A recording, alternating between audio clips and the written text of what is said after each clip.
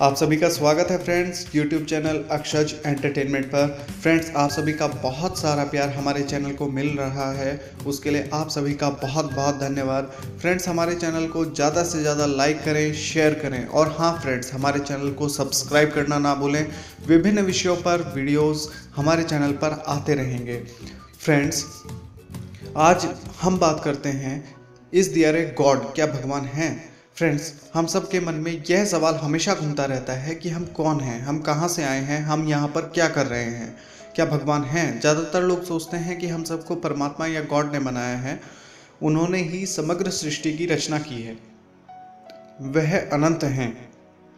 हिंदू धर्म में ज़्यादातर लोग हनुमान जी गणेश जी शिव जी जैसे नामों से भगवान को जानते हैं। किंतु मेरे जैसे लोग यह सोचते हैं कि भगवान ने तो हमें बना दिया, लेकिन भगवान को किसने बनाया? वैसे तो यह दिमाग घुमा देने वाला सवाल है, लेकिन हम सब में यह जानने की उत्सुकता हमेशा बनी रहती है। वैसे तो इसका वर्णन करना तो मुमकिन नहीं है, लेकिन फिर भी हम इस वीडियो के माध्यम से भगवान को समझने की कोशिश कर सकते हैं। फ्रेंड्स भगवान पर ब्रह्म हैं, अनादि हैं। हिंदू शास्त्रों में भगवान अर्थात परमात्मा को ओम के स्वरूप में दर्शाया जाता है तो फिर यह ओम का स्वरूप क्या है? आइए समझते हैं इस स्वरूप को। फ्रेंड्स, यह परम तत्व ब्रह्म, स्वयं ज्ञान स्वरूप, नित्य अर्थात ब्रह्मा, विष्णु और महेश, वह खुद ही हैं। गॉड अर्थात ब्रह्म, परमात्मा।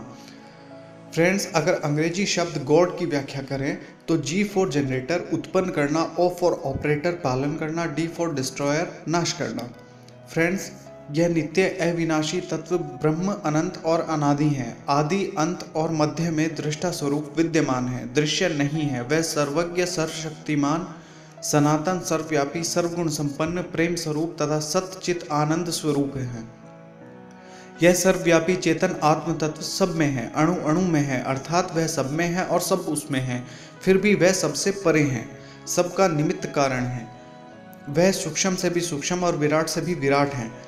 वह वृक्ष में बीज और बीज में वृक्ष स्वरूप में स्थित हैं। यह चेतन तत्व सेकंड से भी सूक्ष्म और युगों से भी विराट है।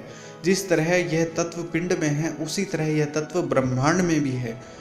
इसकी जड़ प्रकृति दृश्यमान है। भौतिक पदार्थ, द्रव्य गुण जिनके नाम हैं और नाश हैं, वह दिखते हैं।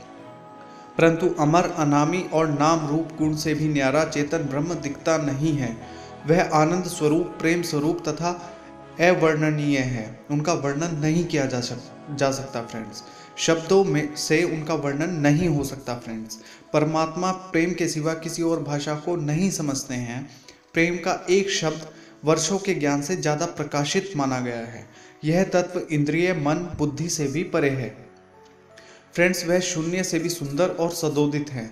आत्मा पानी की एक बूंद के समान है, जो परमात्मा विशाल समुद्र है।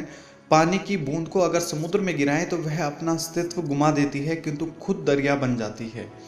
फ्रेंड्स सृष्टि के तीन कारण हैं। पहला कारण है निमित्त कारण, जो बनाने वाला है लेकिन बनावट से परे है। जैसे कि मिट्टी के कुंभ को बनाने में कुम्हार निमित्त कारण है, उसके बिना कुछ भी नहीं बन सकता, फिर भी वह खुद कुंभ के अंदर कहीं भी नहीं होता है, क्योंकि वह उस कुंभ से परे है। नंबर दो पर आता है फ्रेंड्स, उपादान कारण। जिसके बिना कुछ भी नहीं बन सकता, जो खुद बनावट के अंदर होता है।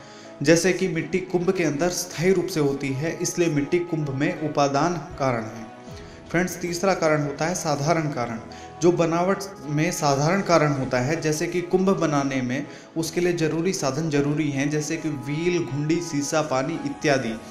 यह सब साधारण कारण है, हाथ, पैर, आँख भी साधारण कारण है। इसी तरह सृष्टि के निर्माण में चेतन तत्व ब्रह्म निमित्त कारण है, जड़ तत्व प्रकृति सृष्टि का उपादान कारण है। फ्रेंड्स प्रकृति ही प्रकृति का उपभोग करती है। द्रव्य ही द्रव्य को खाता है, गुणों को द्रव्य से अलग नहीं किया जा सकता है।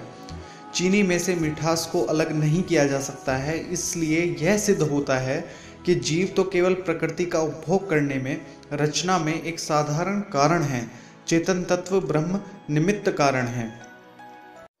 फ्रेंड्स हमारे चैनल अक्षज एंटरटेनमेंट को लाइक शेयर और सब्सक्राइब करें और नीचे कमेंट बॉक्स में अपने कीमती सुझाव हम तक पहुँचाएँ।